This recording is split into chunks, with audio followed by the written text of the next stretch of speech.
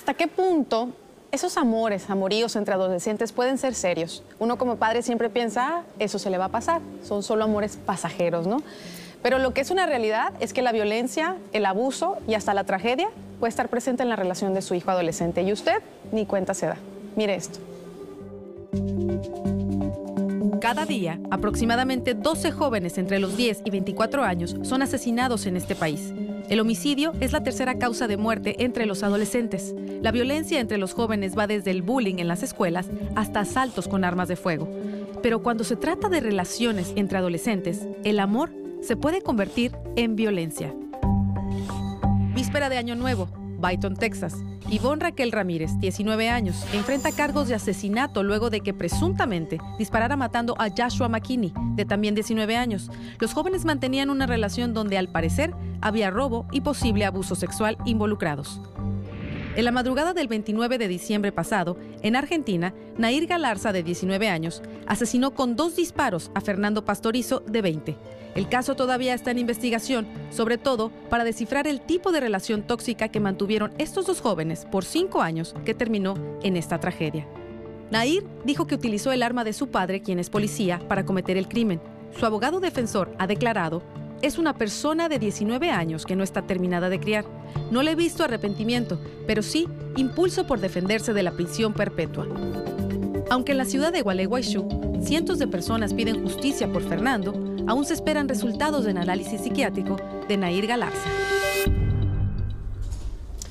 Esta pesadilla le puede pasar a cualquiera y tenemos que estar preparados como padres para detectar si eso le está pasando a nuestro hijo adolescente. Y para eso le quiero dar los buenos días a nuestra psicóloga Edith Shiro, bienvenida una vez más, a nuestro detective de policía de Miami-Dade, Álvaro Zabaleta, gracias por acompañarnos. Y también le damos los buenos días y nos enlazamos hasta Argentina con el señor Jorge Soncini, quien es vocero precisamente de la familia de Nair Galarza, la chica de 19 años acusada de asesinar a su novio Fernando Pastorizo. Muy buenos días, Jorge, gracias por acompañarnos. Buenos días, gracias a ustedes. Jorge, ayer Nair dio eh, declaraciones oficiales donde habló de violencia de género. ¿Sigue esta acusación de homicidio eh, igual o se espera que esto cambie? Bueno, el, caso estaba estudiado por homicidio y el fiscal mostró, digamos, a todos los medios eh, locales e internacionales un caso totalmente cerrado donde siempre se habló de prisión perpetua, pero estaba negado absolutamente a estudiar bien a fondo la relación de vínculo entre ellos y también estaba muy negado a estudiar la violencia de género que se fue acumulando dentro del expediente por más de ocho testimonios e inclusive eh, lo que ustedes eh, sabían hasta ahora es que Nair, el día que se presentó como testigo, eh, se autoinculpó habló de la pertenencia del arma de su padre, la entregó, se puso a derecho y lo que dijo primeramente fue, por favor, no molesten ni a mi padre, ni a mi madre, ni a mi hermanito, ella tiene un hermanito con capacidades diferentes y lo que ella quiso desestimar es que como eran todos sospechosos, su padre y su madre también fueran detenidas y quedara en situación de orfandad su hermano con, con una capacidad diferente en tema de, de una deficiencia mental.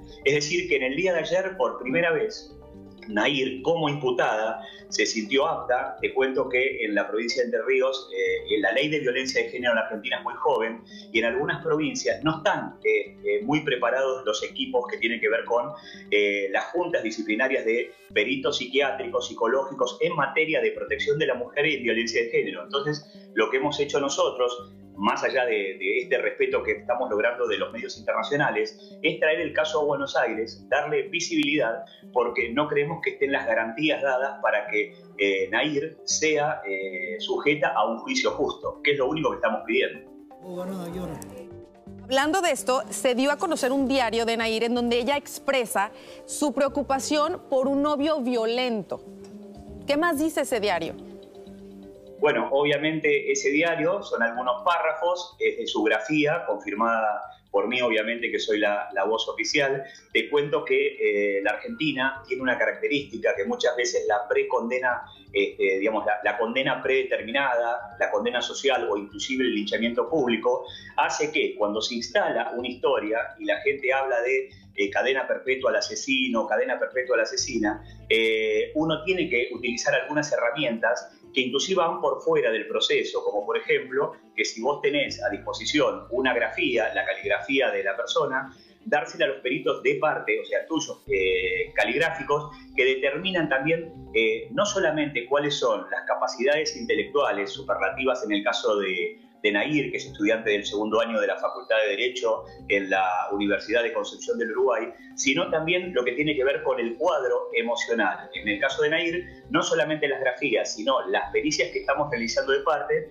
demuestran, no te diría una inmadurez, pero no la fortaleza, el, diríamos, eh, comparada entre lo que es intelectualmente una chica de 19 años y lo que es emocionalmente. Lo que se entiende que con esas falencias que ella tiene es lo que se llama caldo de cultivo o este, carne de cañón para eh, los violentos, para las situaciones de violencia de género. Y lo que está haciendo en esta última declaración es, no es más que ratificar la cantidad de testimonios que se han presentado donde eh, testigos, donde señoras exagenarias, no solamente grupos de pertenencia de chicos de 19 años, hablan de las palizas a las que era sometida Nair e inclusive el día del hecho cuentan la circunstancia donde cuando es subida de los pelos a la moto, no es ella quien porta el arma, sino la víctima fatal. Entonces es muy difícil en materia de medios cuando se ponen los títulos o se ponen eh, los textuales, pero no se pone el escenario. Entonces la declaración de Nair reitero, es la primera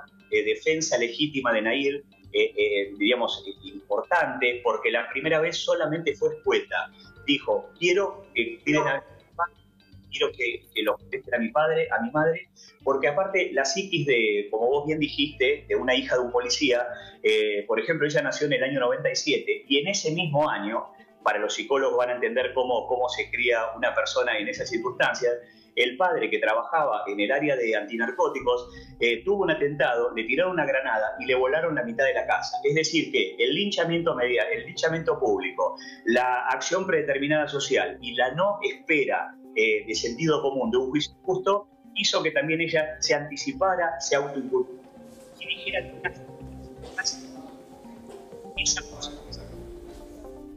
Ahora, una vez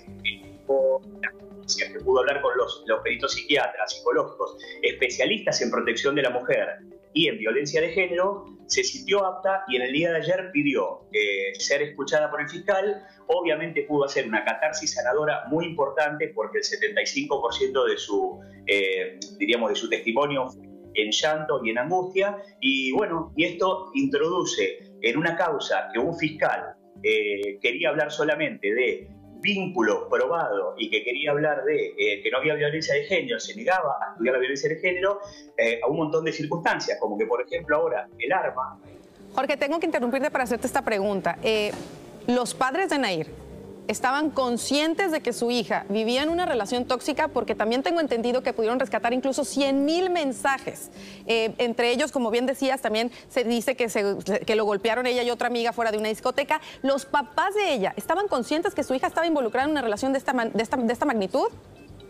Eh, tu pregunta es eh, puntual y tiene que ver como iniciaste y hablaste de la cuestión antropológica, sociológica de lo que pasa con nuestros jóvenes. Sí, la verdad que la mirada de la familia, la mirada de los familiares de ambos, porque para que estos chicos de 19 y 20 años se transformen en protagonistas de una de las tragedias más emblemáticas en materia de criminalidad joven, obviamente que falló, falló la mirada del Estado. Vos cuando estás en la ciudad de Gualeguaychú que es un pueblo que, digamos, emana de lo que era anteriormente la sociedad rural, eh, te das cuenta que todo el mundo sabe, pero nadie habla. Y de hecho, uno de los testimonios que hay de una masajista cuenta que cuando ve las lesiones que tenían a ir y que primeramente los, los médicos de, digamos, de la pericia no detectaron y ahora después de 16 días fueron obligados a ir y sacar una foto y constatarlas, le, la mira a la, madre y le dice, bueno, ahora hablamos, cuando le toca la sesión de masaje a la madre, le dice, pero escúchame, esta chica está muy golpeada, muy lastimada, tiene, diríamos, o sea que O sea que sí, de cierta manera, por lo que me dices, estaban conscientes que estaba pasando esta situación. Y voy a hablar precisamente con el detective que está aquí con nosotros. Como padres, ¿cómo nos damos cuenta que nuestros hijos están en una relación como esta? Porque había muchas señales. Como cualquier relación, eh, uno tiene que estar pendiente, bueno, como cualquier relación con un hijo, la comunicación es clave. Tener que hablar con sus hijos, tener una, comunicación abierta para que uno pueda dialogar y saber qué es lo que está sucediendo en las vidas de ellos. Los jóvenes en sí ya viven un mundo de drama, en lo que en, sí todo para ellos es un drama. Pero hay que estar involucrado en las vidas de sus hijos y ver qué es lo que está sucediendo.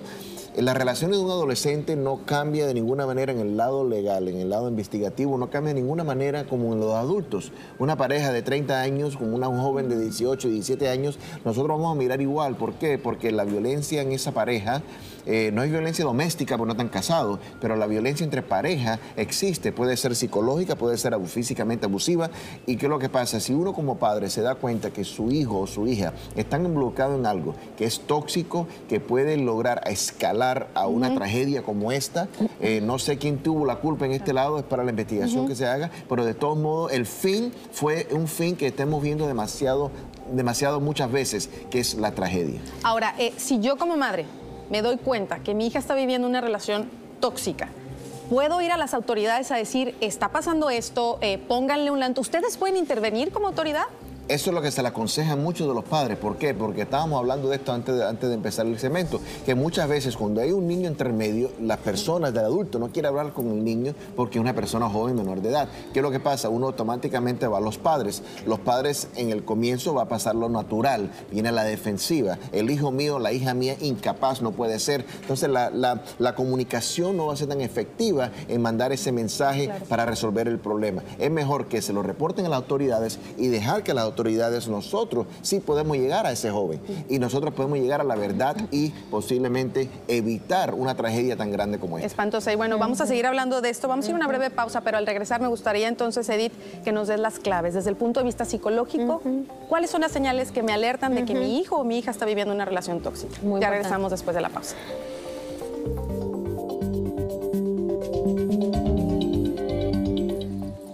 ¿Cómo nos damos cuenta que nuestros hijos adolescentes están en una relación tóxica?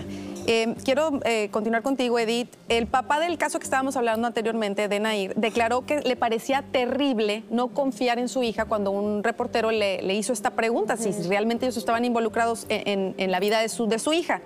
¿Cómo los padres podemos involucrarnos en la vida de nuestros hijos, controlar de cierta manera su información considerada privada, sin que cree un conflicto? O sea, ¿hasta qué punto? Muy importante porque ahorita tenemos esta tendencia de que los padres tenemos miedo de enfrentarnos a los adolescentes porque, ay, se van a molestar, se van a poner bravos, pero es muy importante continuar y mantener ese, ese canal de comunicación. Revisarle el teléfono a tus hijos no tiene nada de malo porque es parte de, de tener una comunicación abierta, saber qué es lo que está pasando, sentarte con ellos y decir, ¿qué, ¿cómo estás? ¿Qué hiciste hoy? Aunque no te quieran hablar, porque muchas veces en relaciones violentas lo que sucede es que hay este aislamiento y esta controlar de que no, de que no salga ningún tipo de información. Es responsabilidad de los padres mantener ese constante diálogo con los niños y con los adolescentes, sobre todo, cómo te sientes hoy, qué te está pasando, te veo diferente, te veo de mal humor, cómo te fue en la escuela, con quién hablaste, quiénes son tus amigos, constantemente tener esas preguntas abiertas.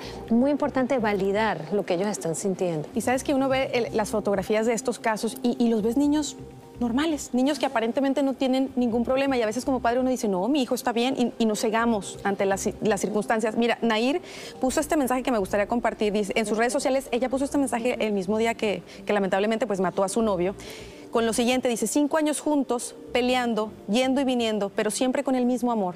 Te amo para siempre, mi ángel.